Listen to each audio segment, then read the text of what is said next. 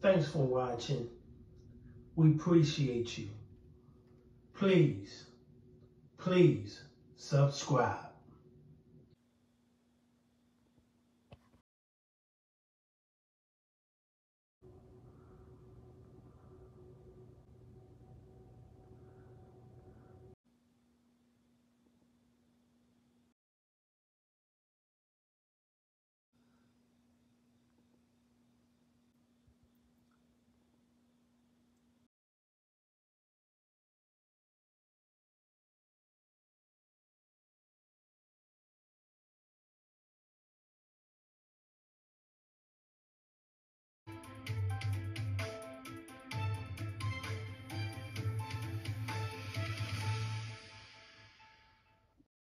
A McKinney father is facing capital murder charges after his son was found dead with multiple stab wounds.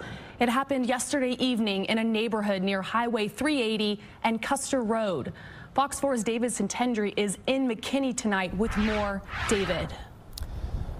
Well, Peyton, the nine-year-old was a student of Prosper ISD, according to McKinney Police Department. It happened at this home behind me, just over my left shoulder, where there is a vehicle still in the driveway. I spoke to a neighbor just a little bit ago, and he tells me about an hour before police arrived yesterday, he actually spoke with the father. He says the father had just picked the son up from school. The kid went inside, and they had a normal conversation out in the driveway. He said nothing seemed abnormal, just business as usual. And then about an hour later, there was that frantic scene. There was screaming, there was yelling. Police officers arrived. And now, while the father is in a hospital after reportedly turning a knife on himself, people are just trying to figure out how he could allegedly take the life of his own nine-year-old son. McKinney Police Department investigators are working to find out why a father allegedly stabbed his nine-year-old son to death Friday afternoon. Yeah, I mean, I was walking the dog earlier, and I did see the mother, and she was very upset. Neighbor Terry D'Alessandro recalls the horrifying scene where flowers now lie off Anson Court.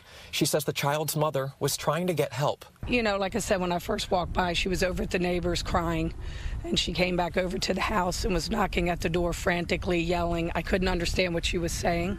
McKinney police, in a video posted to Facebook, say a neighbor called 911. The caller stated that a woman had found her son unconscious and bleeding inside of the residence. Officers arrived at the home, but it was too late. Officers forced entry into the location and located the woman's husband in the act of inflicting self-harm with a knife. Officers also discovered the child in the garage with multiple stab wounds. The child was pronounced dead at the scene. A capital murder charge against the father is pending while he's being treated in a hospital, according to the department. It's unclear what led the father to allegedly commit such a gruesome murder against his nine-year-old son. We're just all devastated for a young child like that. The department tells Fox 4 prior to Friday, there's no history of 911 calls to the family's home and no history of Child Protective Services being involved. You know, it's very heartbreaking. We, you know, we're sending prayers to the mother and you know, I you know, I can't imagine going through what she's going through.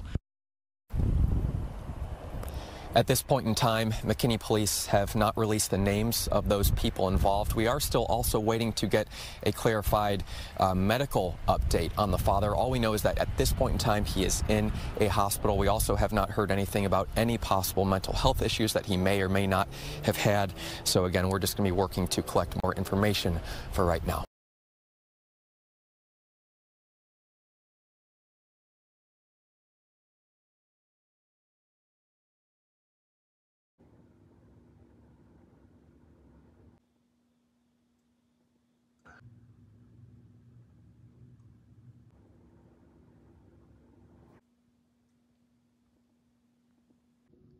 Thanks for watching. We appreciate you. Please, please subscribe.